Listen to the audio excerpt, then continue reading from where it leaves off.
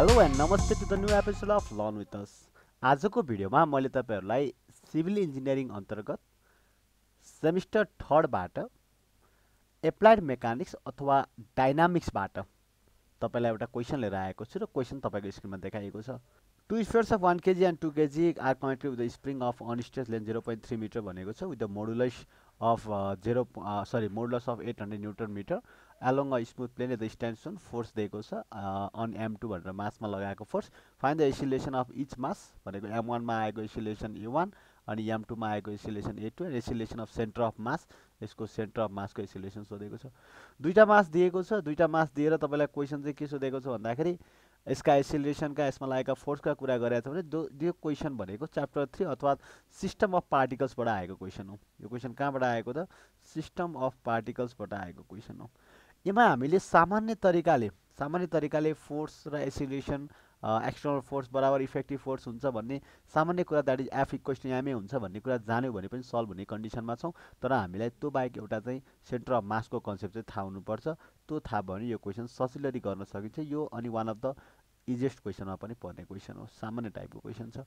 सुरुमा के गराउँछ भन्दाखेरि यो दुईवटा मासलाई छुट्टा छुट्टी किन दुईवटा मासको छुट्टा छुट्टै हामीलाई एसिलेसन निकाल्नु पर्नेछ भनेपछि यो दुईवटा मासलाई छुट्टा छुट्टै यिनीहरूको चाहिँ हामीले फ्री बाई डायग्राम अथवा यिनीहरूको फोर्स डायग्राम चाहिँ बनाऊँ त्यो आउँदाखेरि म पहिला एम वान भन्ने मास लिएँ।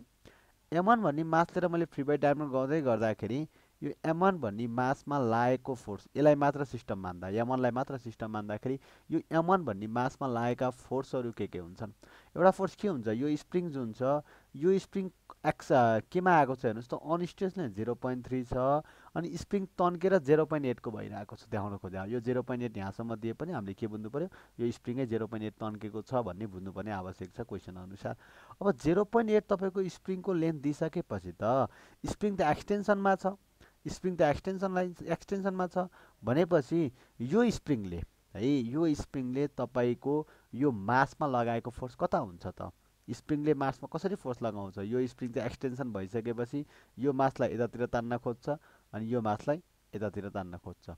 स्प्रिङले मासमा लगाएको फोर्स हेर्नु पऱ्यो भने चाहिँ हामीले यसरी हेर्छौँ। किनभने स्प्रिङ आफू तन्किएको छ तन्किँदाखेरि त्यसको रिस्टोरिङ फोर्स ठ्याक्कै के लाउँछ? अपोजिट डिरेक्सनमा लाउनु पऱ्यो यसरी। मिन पोजिसनमा आउन खोज्छ नि त होइन? यसरी लगाइरहेको छ। भनेपछि एम वानमा मैले हेर्दाखेरि यसको एक्सटर्नल फोर्स एम वानले पाएको एक्सटर्नल फोर्स के भयो? यो डिरेक्सनमा जसको भ्यालु कति हुन्छ? के दिएको छ तपाईँलाई यहाँ? के दिएको छ? जसलाई हामी स्टिफनेस पनि भन्छौँ अथवा मोडलस पनि भनेर दिएको छ। त्यसपछि अथवा स्प्रिङ कन्सटेन्ट पनि भन्छौँ हामी यसलाई। अनि यो के अब कति राख्ने त भन्दाखेरि तपाईँको जेरो पोइन्ट एट छ टोटल लेन्थ होइन? यहाँ अहिले देखाइरहेको यसमा अनस्टेज लेन्थ चाहिँ कति हो? जेरो पोइन्ट थ्री मात्र भनेपछि तपाईँको कति आयो? Eight hundred into zero point five गर्नु पऱ्यो that will be equals to four hundred आयो। फोर हन्ड्रेड इन्टु तपाईँ के छ तपाईँले? फोर्स लागेको अवस्था रहेछ। अब यो फोर्सले गर्दाखेरि या फिर हामी त गर्नु पऱ्यो इफेक्टिभ फोर्स के आयो त भन्दाखेरि यो मास यमनमा हाम्रो असिलेसन आउँछ भन्ने कुरा भयो। असिलेसन कति आउँछ? यो डिरेक्सनमा माने मैले एकछिनलाई यमन ए वान आयो भन्ने कुरा भयो। अब यसलाई इक्वेट गरिदिउँ। इजी भएन त। चार सय इक्वेस टु एम वान कति छ हेर्नुहोस् त? एम वान भनेको दिएको छ वान केजी भनेर दिएको छ एम वान होइन? One KG into acceleration A one त्यहाँबाट ए वानको भ्यालु कति आयो त? चार सय मिटर पर सेकेन्ड आयो। अब यहाँ तपाईँले डिरेक्सन पनि दिनुभयो भने यो पोजिटिभ डिरेक्सन इन यो डिरेक्सनमा चार सय मिटर पर सेकेन्ड स्क्वायर रहेछ।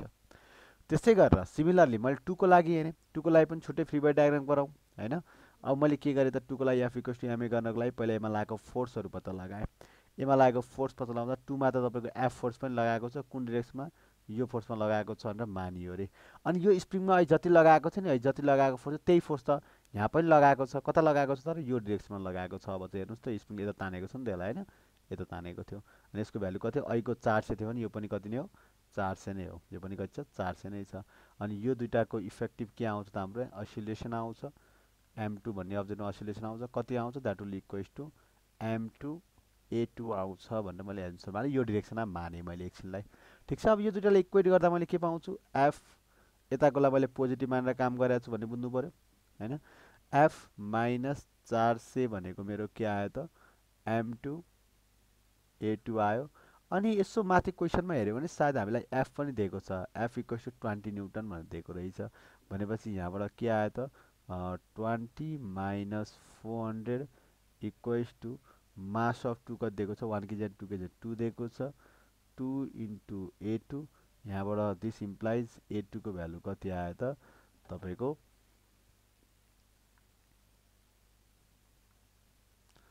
minus one hundred ninety per metre sorry metre per second square आयो अरे। अथवा यसो लेख्दा पनि हुन्छ यो वान नाइन्टी हो यो हुनलाई कति हो? One ninety metre per second square हो तर डिरेक्सन के हो त? डिरेक्सन यो डिरेक्सनमा हो भनेर लेखे पनि हुन्छ। यसरी तपाईँले वान र टूको असिलेसन निकाल्नुभयो। अब अर्को एउटा क्वेसन के छ त यसको चाहिँ acceleration of the centre of mass निकाल्ने भनेको छ। Acceleration of centre of mass अनि हामीले सेन्टर अफ मासको बाई डेफिनेसन फर्मुला पढाएको छौँ भने है सेन्टर अफ मासको बाई डेफिनेसन फर्मुला पढाएको छौँ भने समेसन सेन्टर अफ मास भनेको एमआई एक्सआई है यो सबैलाई हामीले समेसन गऱ्यौँ भने that will give M X bar दिन्छ भनेर सेन्टर अफ मासको डेफिनेसन हो। है तपाईँले डिफ्रेन्ट पार्टिकल्स आई पार्टिकल्स छ आइथवटा पार्टिकल्स छ त्यो आइथवटा पार्टिकलको एम इन्टु एक्स गर्नुभएको छ जोड्नु भएको छ इक्वल्स टु एम यो एक्स बार लेखेको चाहिँ सेन्टर अफ मासको के हो त एउटा पोजिसन भ्याक्टर भन्नु एक्स बार भन्दा पनि हामी पोजिसन भ्याक्टरमा गयौँ भने that will equals to R I R bar हुन्छ भनेर पोजिसन भ्याक्टरको टर्ममा लेख्न सकिन्छ। अब यही चिजलाई मैले के गरिदिएँ त भन्दाखेरि डेरिभेटिभ गरिदिएँ भने होइन? With respect to time derivative गर्दा यो भेलोसिटी भिआइ छ अनि यतापट्टिको चिज केमा जान्छ? M velocity of centre of मासमा जान्छ। यही चिजलाई फेरि एकचोटि डेरिभेटिभ गरिदियो भने M I A I is equals to M A bar भनेर आउँछ। ठिक छ? यसरी गर्न सकिन्छ। अब हामीसँग हेर्नुहोस् त हामीले निकाल्नुपर्ने ए बार हो। हामीसँग एमआइएआई आइसकेको छ। यो भनेको यस्तो होइन र M one A one plus M two A two equals to M जुन भनेको टोटल मास हो होइन? अनि ए बार अब एम वान ए वान भन्ने बित्तिकै one into four hundred M two A two भन्ने बित्तिकै two into minus one ninety लेख्नु पऱ्यो यसमा त्यसपछि थ्री थ्री भएको यसलाई बसेर के आउँछ त? A bar equals to three divide three that will be equals to six point six seven आउँछ। है। अब यसरी नै गर्नुपर्छ भन्ने आवश्यक छैन। कसरी पनि गर्न सकिन्छ छ त अर्को उपाय हामीले के पढाएको छौँ भने सिस्टम अफ पार्टिकल्समा यदि यो ओभरअल सिस्टमलाई नै मैले यो ओभरअल दुईवटा पार्टिकल्सलाई नै मैले सिस्टम मान्ने हो भने क्या यो ओभरअल दुईवटा पार्टिकल्सलाई नै मैले सिस्टम मान्ने हो भने चाहिँ यस्तो बेलामा यस्तो बेलामा summation summation of external force is centre of mass हुन्छ। है यदि मैले ओभरअल सिस्टमलाई नै डिफ्रेन्ट पार्टिकल्स छ एउटा सिस्टममा डिफ्रेन्ट पार्टिकल्स डिफ्रेन्ट पार्टिकललाई नै एउटा सिस्टम मानिदियो भने यो डिफ्रेन्ट पार्टिकलमा लागेको एक्सटर्नल फोर्स इन्टर्नल फोर्स हेर्दैनौँ हामी जस्ट एक्सटर्नल फोर्स मात्र हेर्दाखेरि चाहिँ के हुन्छ त भन्दा यसको सेन्टर अफ मासको एसिलेसनवाला इफेक्टिभ फोर्ससँग बराबर हुन्छ। भनेको मतलब तपाईँले दुइटैलाई सिस्टम मान्दाखेरि यहाँ एक्सटर्नल फोर्स कुन हो? दुइटैलाई सिस्टम मान्नुभयो भने एक्सटर्नल फोर्स र इन्टर्नल फोर्स छुट्याउनु जानुपर्छ। मैले ओभरअललाई मानेर काम गर्दैछु। अब अघि चाहिँ छुट्टा छुट्टा एम टूलाई सिस्टम मानेर गरेको थिएँ। अब ओभरअललाई सिस्टम मान्दाखेरि यो जुन स्प्रिङको फोर्स आएको छ नि यो स्प्रिङको फोर्स भनेको त सिस्टम पार्टिकल्स पार्टिकल्सभित्र लगाएको फोर्स यो एक्सटर्नल फोर्स हो यो फोर्स हामीले कन्सिडर गर्नु परेन यदि ओभरअल सिस्टम मान्दैछु भने। एक्सटर्नल फोर्स को मात्र हो त? एफ मात्र हो क्या? को मात्र हो? एफ मात्र हो भने चाहिँ मैले के लेख्न पाउँछु त भन्दाखेरि यहाँनिर हेर्नुहोस् त F equals to total mass कति टु वान प्लस थ्री हुन्छ भनेपछि ए भ्यालु कति छ? ट्वेन्टी छ। ट्वेन्टी इक्वल्स टु ए आउँदो रहेछ। भने यसरी पनि गर्न सकिन्छ। हस् त आजलाई यति नै गरौँ। अर्को क्वेसन म तपाईँलाई नेक्स्ट भिडियोमा लिएर आउनेछु। त्यति बेलासम्मको लागि